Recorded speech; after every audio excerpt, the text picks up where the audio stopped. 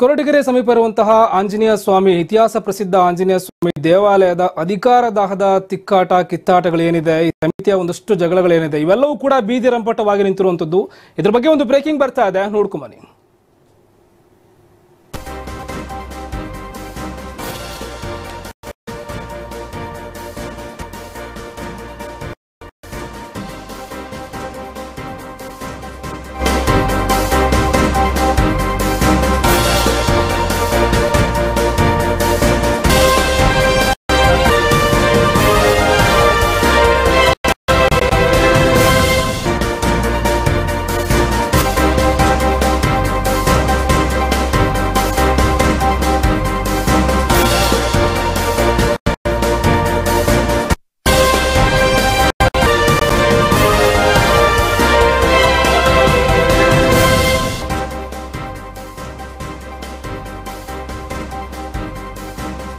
ಇರುವಂತದ್ದು ಕ್ಯಾಮಹಳ್ಳಿಯ ಸುಪ್ರಸಿದ್ಧ ಆಂಜನೇಯ ಸ್ವಾಮಿ ದೇವಾಲಯ ಇದು. ಇತಿಹಾಸ ಪ್ರಸಿದ್ಧವಾದಂತಹ ಆಲಯ, ದೇವಾಲಯ. ಕೊರಟಗೆರೆ ತಾಲೂಕಿನ ಸುಪ್ರಸಿದ್ಧ ಪುಣ್ಯಕ್ಷೇತ್ರ, ಕಮನೀಯ ಕ್ಷೇತ್ರ ಇದು. ಇನ್ನು ತಹಶೀಲ್ದಾರ್ ನೇತೃತ್ವದಲ್ಲಿ ಒಂದು ಸೇವಾ ಸಮಿತಿ ಮತ್ತು ಭಕ್ತರ ಶಾಂತಿ ಸಭೆ ಕೂಡ ಮಾಡಲಾಗಿರುವಂತದ್ದು ಆದ್ರೆ ಪ್ರಯೋಜನ ಆಗಿಲ್ಲ. ಸಭೆಯಲ್ಲಿ ಸೇವಾ ಸಮಿತಿ ವಿರುದ್ಧ ಆಂಜನೇಯ ಭಕ್ತರು ಆಕ್ರೋಶವನ್ನು ಹೊರಹಾಕಿದ್ದಾರೆ. ಮುಜರಾಯಿ ಇಲಾಖೆ ಅಧಿಕಾರಿಗಳಿಂದ ರಾಜಕೀಯ ಹಸ್ತಕ್ಷೇಪ ಕೂಡ ಮಾಡಲಾಗ್ತಾ ಇರುವಂತದ್ದು ಇನ್ನು ಮ- ಮುಜರಾಯಿ ಅಧಿಕಾರಿಗಳ ವಿರುದ್ಧ ಆಕ್ರೋಶವನ್ನ ಅಲ್ಲಿನ ಭಕ್ತರಿಂದ ವ್ಯಕ್ತಪಡಿಸ್ತಾ ಇದ್ದಾರೆ. ಹೈಕೋರ್ಟ್ ಅಂಗಳಕ್ಕೆ ತಲುಪಿದಂತಹ ಇವರ ಅರ್ಚಕರ ಒಂದು ಒಂದು ಕಿತ್ತಾಟ ಏನಿದೆ, ಇದು ಹೈಕೋರ್ಟ್ ಅಂಗಳಕ್ಕೆ ತಲುಪಿರುವಂತದ್ದು ಆಂಜನೇಯ ಸ್ವಾಮಿಯ ವ್ಯವಸ್ಥಾಪನಾ ಸೇವಾ ಸಮಿತಿ ವಿರುದ್ಧ ತಮ್ಮ ಆಕ್ರೋಶವನ್ನ ವ್ಯಕ್ತಪಡಿಸ್ತಾ ಇದ್ದಾರೆ. ಸಮಿತಿ ರಚನೆ ಮಾಡುವಾಗ ಅಕ್ಕಾಜಿಹಳ್ಳಿ ಮತ್ತು ಹೊನ್ನಾರಹಳ್ಳಿಯಲ್ಲಿ ಕಡೆಗಣನೆ ಮಾಡಿದ್ದಾರೆ. ನಮ್ಮ ಎರಡು ಹಳ್ಳಿಗಳನ್ನ ಕಡೆಗಣನೆ ಮಾಡಿದ್ದಾರೆ ಅನ್ನೋ ಕಾರಣಕ್ಕೋಸ್ಕರ ದೇವರ ಹೆಸರಿನಲ್ಲಿ ರಾಜಕೀಯ ಮಾಡ್ತಿದ್ದಾರೆ ಅಂತ ಕೂಡ ಇಲ್ಲಿ ಆರೋಪ ಮಾಡಿರುವಂತದ್ದು ಹಾಗಾದ್ರೆ ಇಷ್ಟೆಲ್ಲ ಏನಕ್ಕೆ ಆಯ್ತು? ಇದಕ್ಕೂ ಮುಂಚೆ ನಾವು ಕೂಡ ಎರಡು ತಿಂಗಳ ಹಿಂದೆ ಇದ್ರ ಬಗ್ಗೆ ವರದಿ ಕೂಡ ಮಾಡಿದ್ವಿ. ಇವರ ಒಂದು ಕಿತ್ತಾಟಗಳೇದು, ಇದ್ರ ವರದಿ ಕೂಡ ಮಾಡಿದ್ವಿ. ಕ್ಯಾಮನಹಳ್ಳಿ ಆಂಜನೇಯ ದೇವಾಲಯ ಇದೆ. ಇದರ ಅರ್ಚಕ ಮತ್ತು ಸೇವಾ ಸಮಿತಿ ನಡುವಿನ ಒಂದಷ್ಟು ಜಗಳಗಳು ಈಗ ಹೈಕೋರ್ಟ್ ಅಂಗಳಕ್ಕೆ ತಲುಪಿರುವಂತದ್ದು ಗತ ವೈಭವಕ್ಕೆ ಹೆಸರಾಗಿದ್ದಂತಹ ಕಮನೀಯ ಕ್ಷೇತ್ರ, ರಾಜಕೀಯ ಲೇಪನ ಮತ್ತು ಮುಜರಾಯಿ ಇಲಾಖೆ ಅಧಿಕಾರಿಗಳ ಕುಮ್ಮಕ್ಕಿನಿಂದ, ಅಂದ್ರೆ ಒಳ ಕುಮ್ಮಕ್ಕಿನಿಂದ ಕಪ್ಪು ಚುಕ್ಕೆ ಬರುವಂತಾಗಿರುವಂತದ್ದು ಆಕ್ಚುಲಿ ಇದು ಬಹಳ ಒಂದು ಈ ಜಾತ್ರೆ ಆಗಿರ್ಬೋದು ಅಥವಾ ಕೆಲವು ವಿಶೇಷ ಸಂದರ್ಭಗಳಲ್ಲಾಗಿರ್ಬೋದು ಸಾಕಷ್ಟು ಸಂಖ್ಯೆಯಲ್ಲಿ ಭಕ್ತಾದಿಗಳು ಬರ್ತಾ ಇದ್ರು, ಕೆಲವೊಂದಷ್ಟು ರಾಜಕಾರಣಿಗಳು ಕೂಡ ಇಲ್ಲಿ ಭೇಟಿ ನೀಡ್ತಾ ಇದ್ರು. ಎಲ್ಲವೂ ಕೂಡ ಇದ್ದಂತಹ ಈ ಒಂದು ಕ್ಷೇತ್ರ ಬಹಳನೇ ಚೆನ್ನಾಗಿತ್ತು. ಕೆಲವು ತಿಂಗಳ ಹಿಂದೆ ರಚನೆಯಾದಂತಹ ಸಮಿತಿಯನ್ನಿತ್ತು, ದೇವಾಲಯದ ಸಮಿತಿ. ಈ ಸಮಿತಿಯಿಂದ ಇಷ್ಟೆಲ್ಲ ಅಂದ್ರೆ ರಾಜಕೀಯ ಒಳ ರಾಜಕೀಯ ಒಳ ಕುಮ್ಮಕ್ಕಿರ್ಬೋದು ಅಥವಾ ಮತ್ತೊಂದು ಮಗದೊಂದು ಇರ್ಬೋದು ಎಲ್ಲವೂ ಕೂಡ ಇಲ್ಲಿ ಶುರುವಾಗಿರುವಂತದ್ದು ತುಮಕೂರು ಜಿಲ್ಲೆ ತಾಲೂಕಿನ ಸುಪ್ರಸಿದ್ಧ ಪುಣ್ಯಕ್ಷೇತ್ರವಾದ ಕ್ಯಾಮಹಳ್ಳಿಯಲ್ಲಿರುವಂತಹ ಶ್ರೀ ಆಂಜನೇಯ ಸ್ವಾಮಿ ದೇವಾಲಯ ವಿವಾದ ದಿನದಿಂದ ದಿನಕ್ಕೆ ತಾರಕಕ್ಕೇರ್ತಾನೆ ಇದೆ. ನಿನ್ನೇನು ಕೂಡ ದೊಡ್ಡ ಜಗಳ ಆಗಿರುವಂಥದ್ದಲ್ಲಿ ಇದೇ ಒಂದು ವಿಚಾರಕ್ಕೆ ದೊಡ್ಡ ಜಗಳ ಆಗಿದೆ. ಬ್ರಹ್ಮ ರಥೋತ್ಸವದ ವೇಳೆ ಅರ್ಚಕರ ನೇಮ- ನೇಮಕಾತಿ ಅನ್ನೋ ಒಂದು ವಿಚಾರ ಇತ್ತು. ಈ ವಿಚಾರ ಪ್ರಾರಂಭವಾಗ್ತಿದ್ದಂಗೆ ಜಗಳ ಶುರುವಾಗಿರುವಂತದ್ದು ಒಳಗೊಳಗೆ ನಡೀತಾ ಇದ್ದಂತಹ ಜಗಳ ಈಗ ಬೀದಿಗೆ ಬಂದು ನಿಂತಿರುವಂತದ್ದು ಇದು ಎಲ್ಲ ಒಂದ್ ಕಡೆ ಭಕ್ತರಲ್ಲಿ ಆತಂಕವನ್ನ ಉಂಟು ಮಾಡಿದೆ ಇದು ಮುಜರಾಯಿ ಇಲಾಖೆಗೆ ಸೇರಿರುವಂತಹ ದೇವಾಲಯ ಇದು. ಸೇವಾ ಸಮಿತಿ ವಿರುದ್ಧ ಭಕ್ತರು ಆಕ್ರೋಶ ವ್ಯಕ್ತಪಡಿಸಿದ್ದಾರೆ. ಇನ್ನು ಈ ಒಂದು ಸೇವಾ ಸಮಿತಿಯೇ ಸರಿಯಿಲ್ಲ, ಇದು ಅವೈಜ್ಞಾನಿಕವಾಗಿ ಮಾಡಿದ್ದಾರೆ. ಇಲ್ಲೆಲ್ಲವೂ ಕೂಡ ಮೋಸ ನಡೀತಾ ಇದೆ. ಸೊ ಹಾಗಾಗಿ ಇದನ್ನ ಈ ಕೂಡಲೇ ಸರಿ ಮಾಡಬೇಕು ಅಂತ ಗ್ರಾಮಸ್ಥರು ಕೂಡ ಇಲ್ಲಿ ಒಂದು ಆಕ್ರೋಶವನ್ನು ವ್ಯಕ್ತಪಡಿಸಿರುವಂತದ್ದು ಜೊತೆಗೆ ಇನ್ನೊಂದು ಆತಂಕ ಕೂಡ ಅಲ್ಲಿ ಮನೆ ಮಾಡಿರುವಂತದ್ದು ಮುಂದೆ ಈ ಈ ಒಂದು ಪ್ರಕರಣಗಳು ಯಾವ ಮಟ್ಟಕ್ಕೆ ಎಲ್ಲಿಗೆ ತಿರುವು ಪಡ್ಕೊಳ್ತೆ ಅನ್ನೋದು ಕೂಡ ಇಲ್ಲಿ ಜನ ಭಕ್ತರಲ್ಲಿ ಆತಂಕ ಶುರುವಾಗಿದೆ. ಜೊತೆಗೆ ದೇವರ ಹೆಸರಲ್ಲಿ ರಾಜಕೀಯ ಮಾಡ್ತಿದ್ದಾರೆ ಅಂತ ಸ್ಥಳೀಯರು ಕೂಡ ಆಕ್ರೋಶವನ್ನು ವ್ಯಕ್ತಪಡಿಸಿದ್ದಾರೆ. ಹಾಗಾದ್ರೆ ಇಲ್ಲಿ ಯಾರ ವಿಚಾರಕ್ಕೆ ಇದೆಲ್ಲವೂ ಆಯ್ತು ಹಾಗಾದ್ರೆ? ಗಮನಿಸಬಹುದು ಕೃಷ್ಣಾಚಾರ್ ಕಳೆದ ಹತ್ತು ವರ್ಷಗಳಿಂದ ಕೃಷ್ಣಾಚಾರ್ ಅನ್ನೋರು ಕಳೆದ ಹತ್ತು ವರ್ಷಗಳಿಂದ ಆಂಜನೇಯ ಸ್ವಾಮಿ ದೇವಾಲಯದ ಪರಿಚಾರಕರಾಗಿ ಕೆಲಸ ಮಾಡ್ತಾರೆ. ಅಂದ್ರೆ ಪೂಜೆ, ಪುನಸ್ಕಾರಗಳೆಲ್ಲವೂ ಕೂಡ ಅಲ್ಲಿ ಮಾಡ್ತಾ ಇರ್ತಾರೆ. ಕ್ಯಾಮನಹಳ್ಳಿಯ ಸುತ್ತಮುತ್ತಲಿನ ನಲವತ್ತಕ್ಕೂ ಅಧಿಕ ಗ್ರಾಮಸ್ಥರು ಏನಿರ್ತಾರೆ, ಇವರೆಲ್ಲರೂ ಕೂಡ ಅವರ ಒಂದು ಪ್ರೀತಿ ಪಾತ್ರರಾಗಿರ್ತಾರೆ ಪ್ರಶಂಸೆಗೆ ಒಳಗಾಗಿರ್ತಾರೆ ಅವರೆಲ್ಲವೂ ಕಾರ್ಯವನ್ನು ಕೂಡ ಮೆಚ್ಕೊಂಡಿರ್ತಾರೆ. ಆದ್ರೆ ಏಕಾಏಕಿ ಕೃಷ್ಣಾಚಾರ್ ಮಗ ಸಹ ಬರ್ತಾರೆ ಇಲ್ಲಿ. ಇವರ ಮಧ್ಯೆ ಕೃಷ್ಣಾಚಾರ ಮಗ ಬರ್ತಾರೆ. ಕೆಲವು ಮೂಲ ಮಾಹಿತಿಗಳ ಪ್ರಕಾರ ಅವರ ಕೃಷ್ಣಾಚಾರ ಅವರ ಮಗಳ ಮಗ ಏನಿರ್ತಾರೆ, ಇವರು ಆ ಒಂದು ಜಾಗಕ್ಕೆ ಎಂಟ್ರಿ ಕೊಡ್ತಾರೆ. ಕಳೆದ ಐದು ವರ್ಷದಿಂದ ಯಾವುದೇ ಸಮಸ್ಯೆ ಇಲ್ಲದೆ ಆಂಜನೇಯ ಸ್ವಾಮಿ ಸೇವೆ ಸಲ್ಲಿಸ್ತಾ ಇರ್ತಾರೆ. ಏಕಾಏಕಿ ಒಂದು ಸಮಿತಿ ರಚನೆ ಆಗುತ್ತೆ. ಸಮಿತಿ ರಚನೆ ಆದ ಕೂಡಲೇ ಇವೆಲ್ಲವೂ ಕೂಡ ಅಲ್ಲಿ ಪ್ರಶ್ನೆಗಳು ಉದ್ಭವ ಆಗುತ್ತದ್ದು. ಇವಾಗ ಈ ಒಂದು ಜಗಳಗಳು ಗಮನಿಸಬಹುದು ಆ ದೃಶ್ಯಾವಳಿಯಲ್ಲೂ ಕೂಡ ಅಲ್ಲಿ ಮಾತನಾಡ್ತಾ ಇದ್ದಾರೆ. ವಾದ ವಿವಾದಗಳು ಕೂಡ ನಡೀತಾ ಇರುವಂತದ್ದು ಜೊತೆಗೆ ಇದು ಹೈಕೋರ್ಟ್ ಅಂಗಳಕ್ಕೆ ಹೋಗಿ ನಿಂತಿದೆ.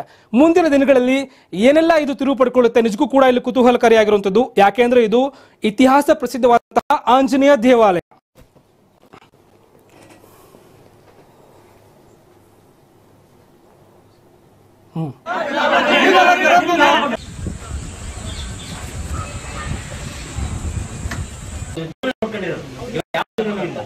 ಇವತ್ತು ಇಲ್ಲೇ ಅವ್ರು ಮಾಡ್ಕೊ ಬಂದು ಅವ್ರಿಗೆ ಇಲ್ಲ ಅಂತಂದ್ರೆ ನಮ್ಮ ಈ ಆಗಿದ್ದಾಗ ಅವ್ರು ಯಾವ ಪದ್ಧತಿಯಲ್ಲಿ ಮಾಡ್ತಾ ಇದ್ರು?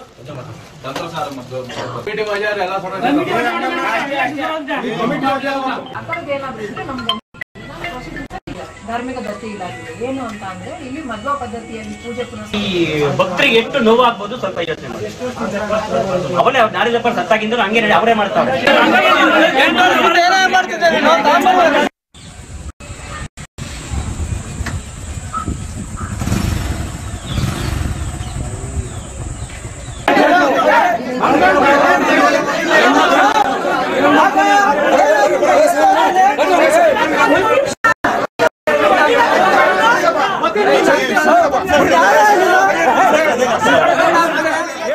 ಏನಾಯ್ತು ಆ ಮಾಹಿತಿ ಬಂತು, ಕಮಿಟಿ, ಹೊಸ ಕಮಿಟಿ ಮಾಡೋ ಒಂದು ಆದೇಶ ಬಂದ ಸರ್ಕಾರದಿಂದ ಬಂತು. ನಾವು ನಮ್ಮೂರಲ್ಲಿ ಸೇರಿಸಿದ್ವಿ ಇದು ಮೂಲವಾಗಿ ನಮ್ಮೂರು ಅಕ್ಕಾಜಹಳ್ಳಿಯೊಳಗೆ ಪ್ರತಿಯೊಂದು ಕೆಲಸ ಮಾಡೋದಕ್ಕೂ ನಮ್ಮೂರಿಗೆ ಆದ್ಯತೆ ಐತೆ. ಸುಮಾರು ಇತಿಹಾಸ ವರ್ಷಗಳಿಂದ ಕಳಸ ಇಡಬೇಕಾದ್ರೂ ಆಗ್ಬೋದು ಕ್ಲೀನ್ ಮಾಡೋದಕ್ಕಾಗ್ಬೋದು, ತೊಳಿಬೇಕಾದ್ರೂ ನಾವು ಹೊನ್ನಾರನಹಳ್ಳಿ ಅವರು ಇದ್ದೇ ಇರ್ಬೇಕು. ಇವರು ಕಮಿಟಿ ರಚನೆ ಮಾಡ್ಕೊಂಡಿದ್ರು ಕಮಿಟಿ ರಚನೆ ಒಳಗೆ ಇತಿಹಾಸ ಇವಾಗ ಇವ್ರು ಬಂದಿರೋರು ಎಲ್ಲ ಹೊಸ ಮುಖ. ಕಮಿಟಿ ಒಳಗೆ ಇರೋರು ಅವರು ಯಾರು? ಅವರು ಗುಂಡಣ್ಣವರು ಯಾರು? ಒಬ್ಬರೇ ಇರೋದು. ಹಿಂದೆ ತಾತನ ಕಾಲದಿಂದ ಬಂದಿರೋರು ಯಾರು ಇಲ್ಲ. ನಮ್ಮೂರು ಅಕ್ಕಾಜಾಡಿ ಕೈ ಬಿಟ್ಟಿದ್ರು. ನಾವು ಮೂಲವಾಗಿ ಅದನ್ನ ಕೇಳಿ ನಮ್ಮೂರು ಯಾವ ಕಾರಣದಿಂದ ಕೈ ಬಿಟ್ರಿ? ಯಾವ ಯಾವ ಊರು? ಹೊನ್ನಾರ್ನಹಳ್ಳಿ ಅಕ್ಕಾಜಾಡಿ. ಸುತ್ತ ಹದಿನಾರು ಹಳ್ಳಿ ಕೇಳ್ರಿ. ಇಲ್ಲಿ ಕಾರ್ಯವೈಖರಿ ಕಾರ್ಯವೈಖರಿ ಮಾಡೋದು ಹೊನ್ನಾರ್ನಹಳ್ಳಿ ಅಕ್ಕಾಜಾಡಿ ಅವ್ರೆ. ತೊಳಿಬೇಕಾದ್ರೆ ನಾವು ಬರ್ಬೇಕು ರಥೋತ್ಸವ ಕಳಸ ಇಡ್ಬೇಕಾದ್ರೆ ನಾವ್ ಬರ್ಬೇಕು ಕಳಸ ಇಡ್ಬೇಕಾದ್ರೆ ಬರ್ಬೇಕು ಒಂಬತ್ತು ದಿವಸ ಕಾರ್ಯ ಮುಗಿಸ್ಬೇಕಾದ್ರೂ ನಾವು ಬರ್ಬೇಕು ಇಲ್ಲಿ ನಮ್ಮನ್ನಿಲ್ದೆ ಏನು ಮಾಡಲ್ಲ ಅವರು. ನಾವು ನಾವಿಲ್ದೆ ಈ ಇಂಥದ್ರೊಳಗೆ ನಮ್ಮ ಇತಿಹಾಸ ಕಾಲದಿಂದ ದೊಡ್ಡವರಿಂದ ನಮ್ಮೂರಿಗೆ ಒಬ್ಬ ಸದಸ್ಯರಿರೋರು ಇವೆರಡು ಕ್ಯಾನ್ಸಲ್ ಮಾಡಿರೋದು ಯಾವ ಉದ್ದೇಶ? ನೀವು ಕಮಿಟಿ ರಚನೆ ಯಾವ ಕಾರಣಕ್ಕೆ ಮಾಡಿದ್ರಿ? ಈ ಕಮಿಟಿ ಮಾಡ್ಬೇಕಾದ್ರೆ ನಮ್ಗೆ ಇದೇನು ಹತ್ತಾರಳ್ಳಿ ಅಧಿಕಾರ ಐತಿ ಅವ್ರನ್ನೆಲ್ಲಾರು ಸೇರ್ಸ್ಕೊಂಡ್ ಮಾಡ್ಬೇಕಾಗಿತ್ತು ರೈತ ನಮಗೊಂದು ಅನುಕೂಲ ಮಾಡಿಕೊಡ್ರಿ ಅಂತೇಳಿ ಆ, ಊರಿನ ಗ್ರಾಮಸ್ಥರನ್ನ ತಾಲೂಕಿನ ಒಳ್ಳೊಳ್ಳೆ ಮುಖಂಡರುಗಳನ್ನ ತಹಸೀಲ್ದಾರ್ನ ಇವ್ರುಗಳನ್ನ ಹಿಂಗೆ ನಮ್ಮ ತಾ ತರ್ತಿರೋಗಾರೆ ನಮಗೊಂದು ಅವಕಾಶ ಮಾಡಿಕೊಡ್ರಿ ದೇವಸ್ಥಾನದಲ್ಲಿ ಅಂತ ಕೇಳ್ಬೋದಿತ್ತು. ಅಂಥದನ್ನ ತಹಸೀಲ್ದಾರ್ನು ಒಬ್ಬ ಪಾಲ್ಟಿನ್ ಮಾಡಿ ಇವ್ರು ಕೋರ್ಟ್ಗೆ ಹೋಗ್ತಾರೆ ಅಂದ್ರೆ ನಮ್ಮ ದೇವಸ್ಥಾನದ ಮರ್ಯಾದೆ ಕಳೆದಂಗಲ್ಲ. ದೇವಸ್ಥಾನ ಕೆಲಸ ಮಾಡ್ತಾ ಇದಾರೆ ಈಗ ಅವರು? ಅರ್ಚಕರ ಕೆಲಸ ಮಾಡ್ತಾ ಇದ್ದಾರೆ. ಅನಧಿಕೃತವಾಗಿ ಅರ್ಚಕರೇನಲ್ಲ. ಹೌದು ಅನಧಿಕೃತ ಮಾಡ್ತಾ ಇದ್ದಾರೆ. ಮಾಡ್ತಾವ್ರ ಅಷ್ಟೇನೆ. ಅದ್ ಯಾವ್ದೇ ತರದ ಅವ್ರಿಗೆ ದಾಖಲೆ ಇಲ್ಲ ಏನು ಯಾಕೆ ಪ್ರಶ್ನೆ ಮಾಡಿಲ್ಲ ಮೇಡಮ್ ತಹಸೀಲ್ದಾರ್ ಮೇಡಮ್ ಯಾಕೆ ಪ್ರಶ್ನೆ ಮಾಡಿದ್ವಲ್ಲ. ಏನಂದ್ರು? ಇಲ್ಲ ಅವ್ರಿಗೇನು ಆದೇಶ ಇಲ್ಲ ಅಂದ್ರಲ್ಲ. ಮತ್ತೆ ಯಾಕೆ ಕೊಂಡಿದ್ರು ಒಳಗಡೆ ಹಾ ಮತ್ತೆ ಯಾಕೆ ಈಗ ನಮ್ಮ ಜನ ಹೆಂಗೆ ಅಂದ್ರೆ ಅವ ಅರ್ಚಕರ ಅವ್ರ ಹೊಟ್ಟೆ ಮೇಲೆ ಹೊಡಿಬೇಕು ಏನೋ ಮಾಡ್ಕೊಂಡು ಹೋಗ್ಲಿ. ಅನ್ನೋದು ಒಳ್ಳೆ ಮನೋಭಾವ ಅಷ್ಟೇನೆ. ಅದನ್ನ ಈ ಹಳ್ಳಿ ಜನಗಳನ್ನ ನಮ್ಮ ಇವ್ರುಗಳನ್ನೆಲ್ಲಾನು ದುರುಪಯೋಗ ಪಡಿಸ್ಕೊಂಡು ಕೋರ್ಟ್ಗೆ ಹೋಗೋರು ಇದು ಯಾವ್ದೇ ಕಾರಣಕ್ಕೂ ಸರಿಯಲ್ಲ. ಅಲ್ಲಿ ಇವ್ರು ಅರ್ಚಕರಾಗಿ ಕೆಲಸ ಮಾಡ್ತಾ ಇದೆ ಶ್ರೀರಾಮ್ ದೇವ್ರದ್ದು ಅರ್ಚಕರಾಗಿ ವೆಂಕಟೇಶ ಸ್ವಾಮಿ ಅರ್ಚಕರಾಗಿ ಕೆಲಸ ಮಾಡ್ತಾ ಇದ್ದಾರೆ ಅವರೇ ಮತ್ತೆ ಆಂಜನೇಯ ಸ್ವಾಮಿ ಅರ್ಚಕರ ಮೇಲೆ ಕೋರ್ಟ್ ಹಾಕ್ತಾರೆ. ಅದು ನಮಗೆ. ಬರಬೇಕು ಅಂತ. ಅದು ಅದನ್ನ ಓಡಿಸ್ಬೇಕು. ಇದೆಲ್ಲ ನಾವೇ ಕಬಳಿಸಬೇಕು ಅನ್ನೋ ಉದ್ದೇಶ ಇಟ್ಕೊಂಡು ಮಾ- ಮಾಡ್ತಾವ್ರೆ ಯಾವ್ದೇ ಕಾರಣಕ್ಕೂ ಅವರು ರಾಮಾಚಾರ್ಯರು ಅಷ್ಟೇನೆ. ರಾಮಾಚಾರ್ಯರು ಅಷ್ಟೇನೆ. ಅವರು ಇಲ್ಲ. ಅವರು ನಾಗಪ್ಪ ಆ ಲೆಕ್ಕದಲ್ಲೇ ಮಾಡ್ಕೊಂಡು ಹೋಗ್ತಾವ್ರೆ. ನೆಕ್ಸ್ಟ್ ಕಾಲ್ ಮಾಡಿದಾಗ ಅರ್ಹರು ಯಾರು ಇರ್ತಾರೆ ಅವ್ರನ್ನ ಆಯ್ಕೆ ಮಾಡ್ತಾರೆ ಸರ್ಕಾರ. ಅಲ್ವಾ ಸರ್? ಹಂಗಾಗಿ ಕಮಿಟಿನವರು ಅಷ್ಟೇ ಆದಷ್ಟು ದೇವಸ್ಥಾನದ ಅಭಿವೃದ್ಧಿ ವಿಚಾರವಾಗಿ ಮುಂದುವರ್ಸ್ಕೊಂಡು ಹೋಗ್ಬೇಕು. ಇಲ್ದಿರೋವನ್ನ ರಾಜಕೀಯ ಮಾಡ್ಬೇಕು ಸಮಸ್ಯೆ ಒಂದು ಪ್ರಧಾನ ಇದೆ ಆಗಮ ಆಗಮ ಅನ್ನೋದಕ್ಕೆ ಅವರು ಆಗಮ ಆಗಿದೆ ಅಂತ ಎರಡನೇ ಸಮಸ್ಯೆ ಏನು ಅಂತ ಅಂದ್ರೆ ಪದ್ಧತಿ ವಿಚಾರ. ಒಂದು ವೈಷ್ಣವ ಪದ್ಧತಿ ಒಂದು ಮಧ್ವ ಪದ್ಧತಿ ಅಂತ. ಈಗ ಇವ್ರು ಮಾಡ್ತಾ ಇರೋದು ಮಧ್ವ ಪದ್ಧತಿ. ಇದು ಎಷ್ಟು ವರ್ಷದಿಂದ ಬರ್ತಾ ಇದೆ? ತಲತಲಾಂತರದಿಂದ ಬರ್ತಾ ಇರೋ ಪದ್ಧತಿ ಮಾಡಿದೀವಾ ಅನ್ನೋದು ಸಮಸ್ಯೆ ಈಗ. ನಾಗರಾಜಾಚಾರ್ಯ ಇದ್ರಲ್ಲ ಮೇಡಮ್ ಅವರೇ? ದುರಸ್ತಿ ಬಗ್ಗೆ ಆಮೇಲೆ ಒಂದು ಯಾತ್ರಿ ನಿವಾಸ ಇದೆ ಅದ್ರ ಅದು ತೆರವು ಮಾಡಿಕೊಡೋ ಬಗ್ಗೆ ಎಲ್ಲ ಡಿಸ್ಕಷನ್ ಆಯಿತು. ಅದಾದ ನಂತರ ಜ ಸಾರ್ವಜನಿಕರು ಬಂದು ಸ್ವಲ್ಪ ಗಲಾಟೆ ಮಾಡ್ತಾರೆ. ಅದಕ್ಕೋಸ್ಕರ ಏನು ಅಂತ ಕೇಳಿದಾಗ ಅವ್ರದ್ದು ಒಂದು ವಿಚಾರ ಇರುತ್ತೆ. ಏನು ಅಂತ ಯಾರು ಅರ್ಚಕರಿದ್ದಾರೋ ಪರಿಚಾರಕರಿದ್ದಾರೋ ಅವ್ರ ಮಗ ಯಾರಿದ್ದಾರೆ ಅವರನ್ನೇ ಪ್ರಧಾನ ಅರ್ಚಕರಾಗಿ ನೇಮಕ ಮಾಡಿ ಅಂತ ಹೇಳ್ಬಿಟ್ಟು ಅವ್ರು ಕೇಳ್ತಾರೆ. ಹೀಗಾಗಿ ಮತ್ತೆ ಇನ್ನೊಂದು ನಮ್ಗೆ ಒಂದು ವಿಚಾರ ಏನಿರುತ್ತೆ ಅಂತಂದರೆ ಹೈಕೋರ್ಟ್ಗೆ ಒಬ್ಬರು ಗೋಕುಲ್ ಅಂತ ಒಬ್ಬರು ಪಿಟಿಷನ್ ಇರ್ತಾರೆ ಏನು ಅಂತ ಅಂದರೆ, ಈ ಕ್ಯಾಮಿನಹಳ್ಳಿ ದೇವಸ್ಥಾನದಲ್ಲಿ ಪ್ರಧಾನ ಅರ್ಚಕರ ಹುದ್ದೆ ಖಾಲಿ ಇದೆ. ಆ ಹುದ್ದೆನ ಭರ್ತಿ ಮಾಡೋದ್ರ ಬಗ್ಗೆ ಮತ್ತೆ ಯಾವ ಸಂಪ್ರದಾಯದಿಂದ ಬರ್ತಾ ಇದೆ ಅದ್ರ ಬಗ್ಗೆ ಒಂದು ಪಿಟಿಷನ್ ಹಾಕಿರ್ತಾರೆ. ಹಾಗಾಗಿ ಅದನ್ನೆಲ್ಲ ವಿಚಾರಣೆ ಮಾಡಿದಾಗ ಗೊತ್ತಾಗುತ್ತೆ, ನಮಗೆ ರಾಜ್ಯ ಆಗಮಿಕರು ಸ್ಟೇಟ್ ಆಗಮಿಕರು ಒಬ್ಬರು ಬಂದಿರ್ತಾರೆ. ಬಂದ್ಬಿಟ್ಟು ಅವರು ವರದಿ ಕೊಟ್ಟಿರ್ತಾರೆ ಏರಿಯಾ ಯಾವ ಪದ್ಧತಿಯಿಂದ ನಡೀತಾ ಇದೆ ಮತ್ತು ಅವ್ರಿಗೆ ಏನು ಅರ್ಹತೆ ಇರಬೇಕು ಅನ್ನೋದ್ರ ಬಗ್ಗೆ ಒಂದು ವರದಿ ಎಂಡೋಮೆಂಟ್ ಡಿಪಾರ್ಟ್ಮೆಂಟ್ ಕೊಟ್ಟಿರ್ತಾರೆ, ಧಾರ್ಮಿಕ ದತ್ತಿ ಇಲಾಖೆಗೆ. ಇಲಾಖೆ ವರದಿಯಂತೆ ನಾವು ಜಿಲ್ಲಾಧಿಕಾರಿಗಳಿಗೆ ಅಧಿಸೂಚನೆ ಹೊರಡಿಸಿ ಬರ್ತಿರ್ತೀವಿ ಅದಕ್ಕೆ ಪ್ರತೀಕವಾಗಿ ಜಿಲ್ಲಾಧಿಕಾರಿಗಳು ಮತ್ತೆ ನಮಗೆ ಒಂದು ಪತ್ರ ಬರೀತಾರೆ. ನೀವೇ ನಿಯಮಾನುಸಾರ ಕ್ರಮ ಕೈಗೊಳ್ಳಿ ಅಂತ ಹೇಳ್ಬಿಟ್ಟು. ಹಾಗಾಗಿ ಇವತ್ತು ಗ್ರಾಮಸ್ಥರ ಜೊತೆ ಡಿಸ್ಕಸ್ ಮಾಡಿದಾಗ ಕೆಲವು ವಿಚಾರಗಳು ಆಚೆ ಬರುತ್ತೆ. ಏನು ಅಂತಂದ್ರೆ, ಆರು ತಲೆಮಾರಿನಿಂದ ಇವರು ಯಾರು ಪರಿಚಾರಕರಿದ್ದಾರೋ ಅವ್ರ ತಲೆಮಾರಿ ಅವರನ್ನೇ ಮಾಡ್ಕೊಂಡು ಬರ್ತಾ ಇದ್ದಾರೆ. ಹಾಗಾಗಿ ಅವರನ್ನೇ ಪ್ರಧಾನ ಅರ್ಚಕರಾಗಿ ನೇಮಕ ಮಾಡೋದ್ರ ಬಗ್ಗೆ ಒಂದು ಹೇಳ್ತಾರೆ. ಜೊತೆಗೆ ಯಾರು ಅರ್ಜಿ ಹಾಕ್ಕೊಂಡಿದ್ದಾರೋ ಹೈಕೋರ್ಟ್ಗೆ, ಅವರು ಹೇಳ್ತಾರೆ, ಅವರು ಪದ್ಧತಿ ಬೇರೆ ನಮ್ಮ ಪದ್ಧತಿ ಬೇರೆ ವೈಷ್ಣವ ಪದ್ಧತಿಯಿಂದ ನಡ್ಕೊಂಡ್ಬರ್ಬೇಕು ಮಧ್ವ ಪದ್ಧತಿ ಮಾಡ್ತಾ ಇದ್ದಾರೆ ಅಂತ ಹೇಳ್ತಾರೆ. ಹಾಗಾಗಿ ಇವತ್ತೇನು ನಡೆದಿದೆ ಅದ್ರ ಬಗ್ಗೆ ಎಲ್ಲ ನಾವು ಒಂದು ಸಭೆ ಮಾಡಿ ಒಂದು ಮಹಾಜಾರ್ ಕಾಪಿ ಮಾಡ್ಕೊಂಡಿದ್ವಿ. ಇದೇ ರೀತಿ ನಾವು ಹೈಕೋರ್ಟ್ಗೂ ಖಂಡಿಕೆವಾರ ಉತ್ತರ ಸಲ್ಲಿಸ್ತೀವಿ. ಇದೇ ಒಂದು ಪ್ರತಿನ ನಾವು ಜಿಲ್ಲಾಧಿಕಾರಿಗಳ ಗಮನಕ್ಕೆ ಮತ್ತೆ ಡೆವಲಪ್ಮೆಂಟ್ ಡಿಪಾರ್ಟ್ಮೆಂಟ್ ಧಾರ್ಮಿಕ ದತ್ತಿ ಇಲಾಖೆಗೂ ಸಲ್ಲಿಸ್ತೀವಿ.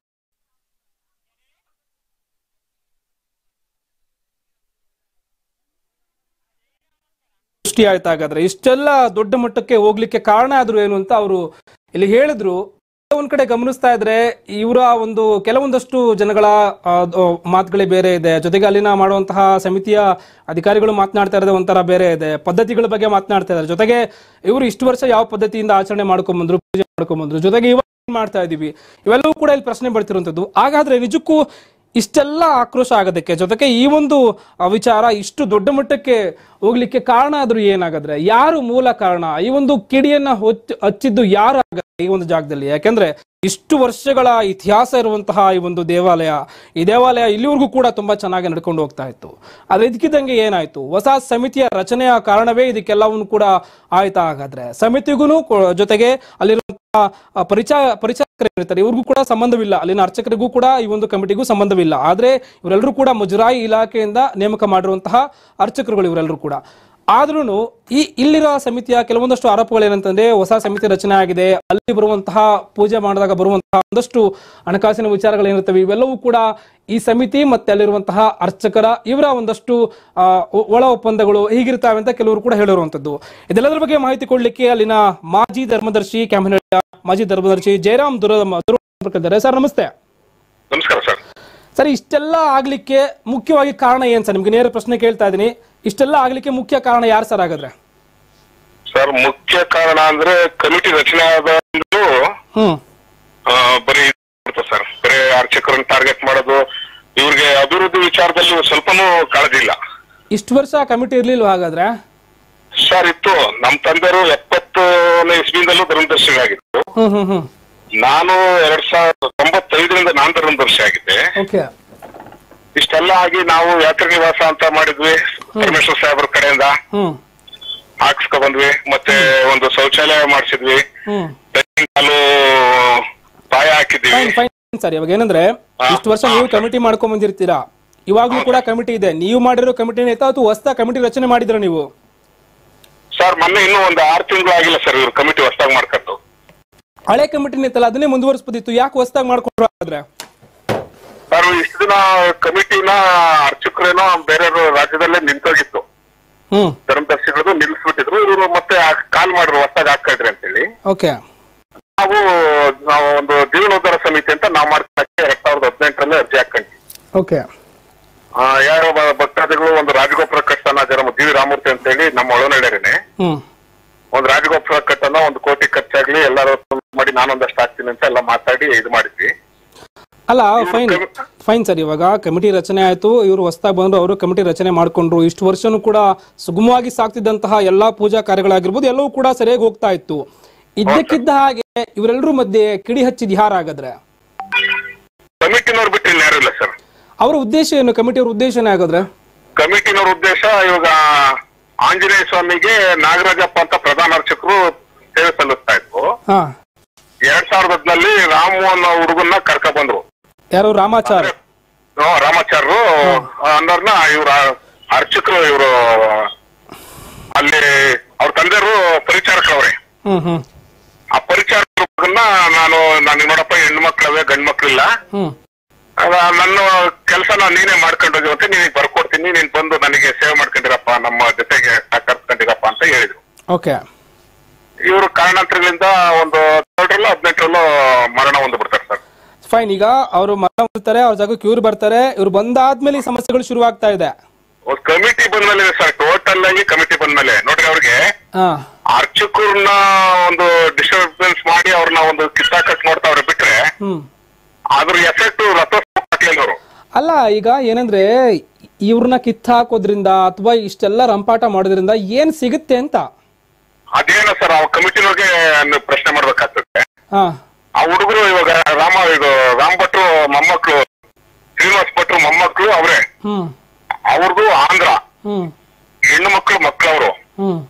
ಅವ್ರಿಗೂ ದೇವಸ್ಥಾನಕ್ಕೂ ಸಂಬಂಧನೇ ಇಲ್ಲ. ಹ್ಮ್. ಅಂತವ್ರು ಕೋರ್ಟ್ಗೆ ಹೋಗ್ತಾರೆ. ಇದು ಆ, ಇದು ಸರಿ ಇಲ್ಲ. ಹ್ಮ್. ಆ, ಬರ್ತಾವಲ್ಲ ಸರ್? ನೀವೇ ಹೇಳಬೇಕು ಪೂಜೆ ಮಾಡಬೇಕು ಅನ್ನೋ ಒಂದು ನಿಯಮಗಳವೆ ಅವರ ಒಂದು ಶಾಸ್ತ್ರದ ಪ್ರಕಾರ ಏನ ಅನುಸರಿಸ್ಕೊಂಡ್ ಬಂದ್ರೆ ಅದ್ರ ಪ್ರಕಾರ ಮಾಡಬೇಕು ಅದ್ರ ಪ್ರಕಾರ ಮಾಡ್ಬೇಕು ಅಂತ. ಹ್ಮ್. ಅದ್ರ ಪ್ರಕಾರ ಅಂತ ಹೋದಾಗ ಎಂಬತ್ತರಲ್ಲೇನೆ ನಾಗರಾಜಪ್ಪರನ್ನವರು ಅದನ್ನ ಸರ್ಕಾರದ ಆದೇಶ ಐತೆ. ಎಂಬತ್ತರದಲ್ಲೂ ಇಂಥದೇ ಮಾಡ್ಬೇಕು ಅಂತ ಐತೆ. ತಂತ್ರಸಾರ ಆಗಮ ಅಂತ ಏನೋ ಐತೆ. ಹ್ಮ್.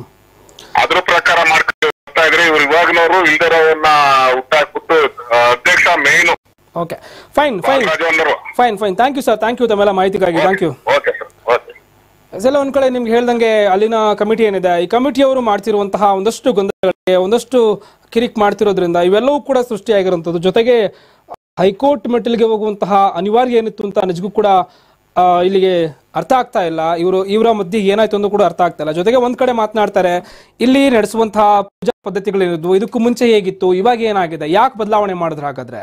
ಈ ಬದಲಾವಣೆ ಏನು? ಹೊಸ ಕಮಿಟಿ ಬಂದು ಇಷ್ಟು ವರ್ಷದ ಇತಿಹಾಸ ಪ್ರಸಿದ್ಧ ದೇವಾಲಯದ ಒಂದಷ್ಟು ಮೇರೆಗೆ ಏನಿತ್ತು? ಇವೆಲ್ಲವೂ ಕೂಡ ಮರೆ ಆಗುತ್ತಾ ಇನ್ ಮುಂದಕ್ಕೆ? ಎಲ್ಲ ಪ್ರಶ್ನೆಗಳು ಕೂಡ ಇಲ್ಲಿ ಕಾಡ್ತಾ ಇರುವಂಥದ್ದು. ನೋಡ್ಬೇಕು ಮುಂದಿನ ದಿನಗಳಲ್ಲಿ ಯಾವ ಹಂತಕ್ಕೆ ತಲುಪುತ್ತೆ ಅನ್ನೋದನ್ನ ಕಾದು ನೋಡ್ಬೇಕಾಗಿದೆ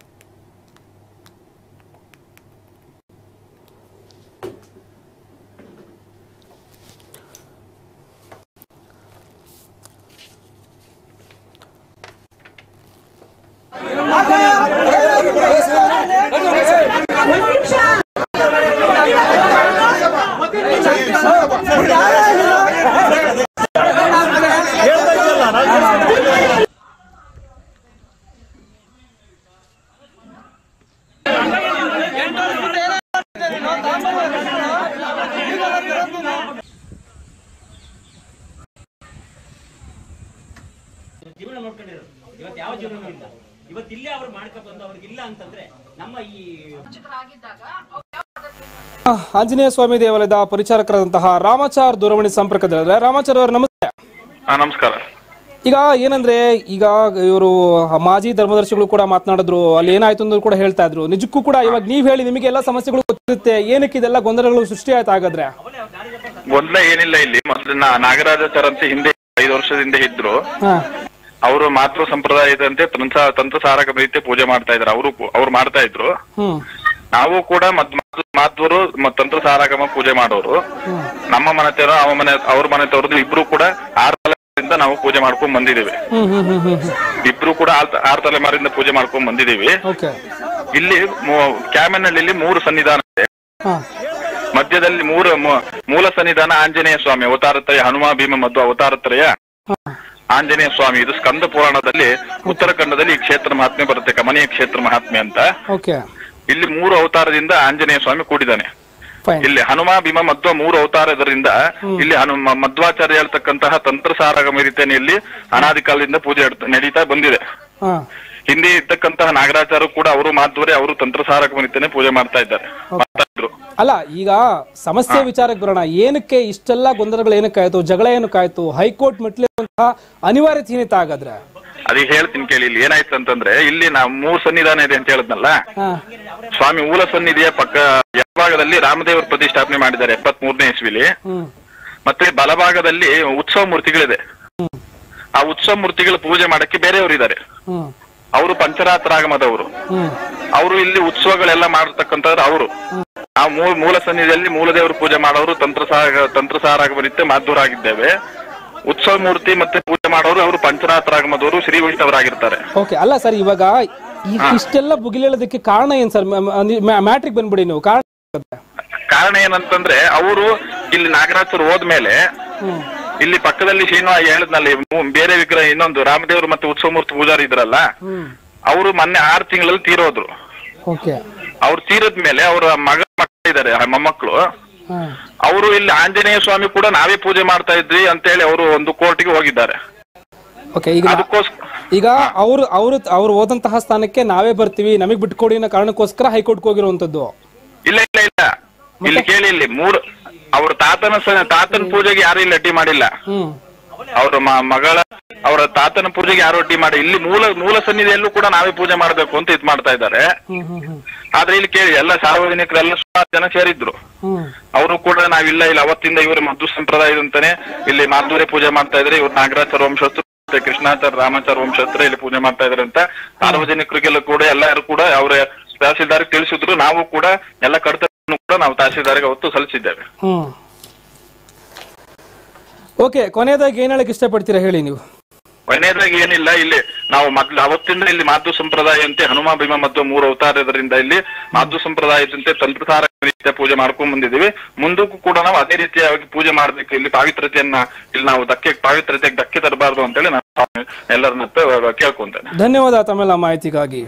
ಅದೆಲ್ಲ ಒಂದ್ ಕಡೆ ಯಾರ ಜೊತೆ ಮಾತನಾಡಿದ್ರು ಕೂಡ ಒಂದು ಕ್ಲಾರಿಟಿ ಅನ್ನೋದು ಕೂಡ ಸಿಗ್ತಾ ಇಲ್ಲ ಇಲ್ಲಿ. ಆಗ್ತಿದೆ ಅಂತ ಕೂಡ ಅರ್ಥ ಆಗ್ತಿಲ್ಲ. ಮುಂದಿನ ದಿನಗಳಲ್ಲಿ ಇದೊಂದು ಈ ಒಂದು ದೇವಸ್ಥಾನದ ಪ್ರತಿಷ್ಠೆ ಏನಿದೆ, ಇದಕ್ಕೆ ಧಕ್ಕೆ ಬರದಂತೆ ಇವರೆಲ್ಲರೂ ಕೂಡ ನಡ್ಕೊಳ್ಬೇಕಾಗುತ್ತೆ. ನೋಡಬೇಕು ಮುಂದಿನ ದಿನಗಳಲ್ಲಿ ಏನಾಗುತ್ತೆ ಅಂತ.